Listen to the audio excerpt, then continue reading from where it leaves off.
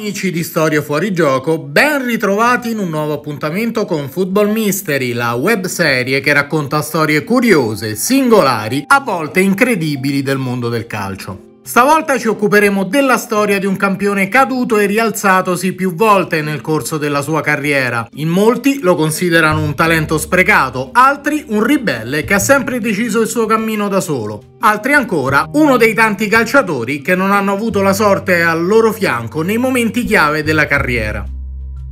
Racconteremo la storia di Gianluigi Lentini, la Fenice Folle, Gianluigi Lentini, classe 1969, nasce calcisticamente come uno dei tanti prodotti di quella fabbrica di talenti che è il settore giovanile Granata e durante la gestione di Sergio Vatta il toro di giovani promettenti ne sforna decine, quantomeno in grado di portare avanti una degna carriera nel calcio dei professionisti. Lentini però, si vede subito, ha qualcosa in più. Nel vederlo dribblare tutto e tutti palla al piede, al toro i paragoni con Meroni scattano subito, ma si capisce immediatamente che tra i due c'è poco in comune nel modo di giocare. Meroni è stato un talento iconico per un'epoca di calcio coi calzettoni abbassati alle caviglie, fisici gracili che sapevano ricamare giocate in 20 cm di campo come Mariolino Corso. Lentini sembra provenire dal futuro. Fisico prorompente e progressione inarrestabile, eccelle nei dribbling, ma non avrebbe neanche bisogno di farli, basta un po' di spazio, l'avversario viene puntato e ciao. Gigi Radice se ne accorge facilmente e a 17 anni, il 23 novembre 1986, lo fa esordire in Serie A contro il Brescia. Nella stessa stagione, Lentini vince il torneo di Viareggio con un toro fortissimo, con Diego Fuser, Giorgio Venturin e Giorgio Bresciani in squadra. Sono però anni difficili per il Toro che prova a rilanciarsi e invece trova una clamorosa retrocessione in B nella stagione 1988-89. Mallentini in cadetteria ci sta già giocando in prestito all'Ancona, dove da titolare segna anche 4 gol. Un'esperienza fondamentale perché il Toro se lo riprende per risalire subito.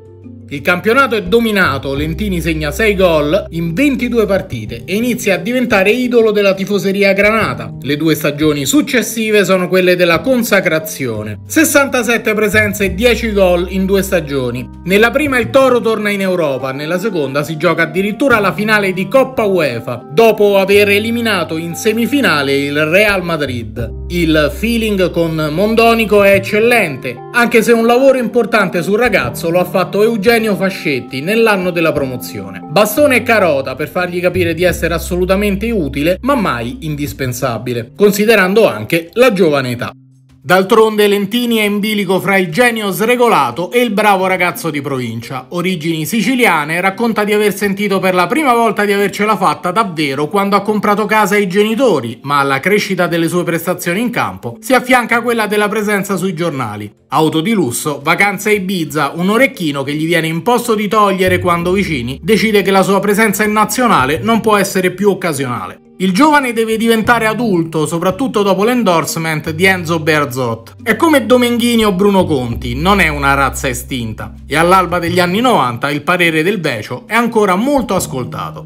Il 1992 deve essere il suo anno, ma i segnali del destino non sono incoraggianti. All'europeo in Svezia non c'è perché non c'è l'Italia, eliminata dall'Unione Sovietica. Subito dopo dissoltasi è presente nella competizione come comunità degli stati indipendenti. La delusione di Amsterdam, già citata, consuma il clamoroso addio. Ufficialmente 18 miliardi e mezzo entrano nelle casse del Torino, versati dal Milan. Lentini non è convinto, ma come spesso è accaduto, le pressioni di Berlusconi furono decisive.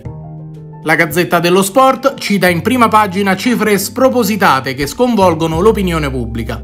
Lentini si dà 65 miliardi, mostruoso ingaggio da 42 miliardi in 4 anni. Si ragiona ancora in lire, ma sono numeri inverosimili, anche per il mercato berlusconiano. Soldi che permettono al presidente Granata Borsano di scaricare l'intera responsabilità del trasferimento sul giocatore. In più, il Milan si lancia frecciate anche con la Juve, che aveva messo gli occhi sull'attaccante. Negli anni di Tangentopoli, la pioggia di monetine con cui i tifosi del Toro salutano Lentini, precorre i tempi di quella scagliata verso Bettino Craxi poco tempo dopo.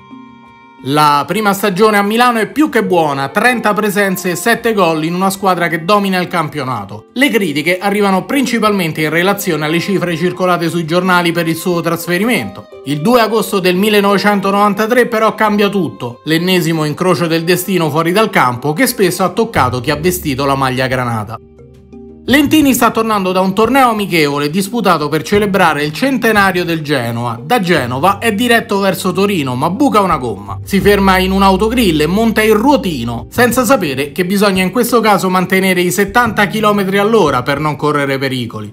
Quando la macchina sbanda, toccava invece i 200. Errore fatale, la testa sbatte violentemente contro il parabrezza. Due giorni di coma e i riflessi rallentati al risveglio.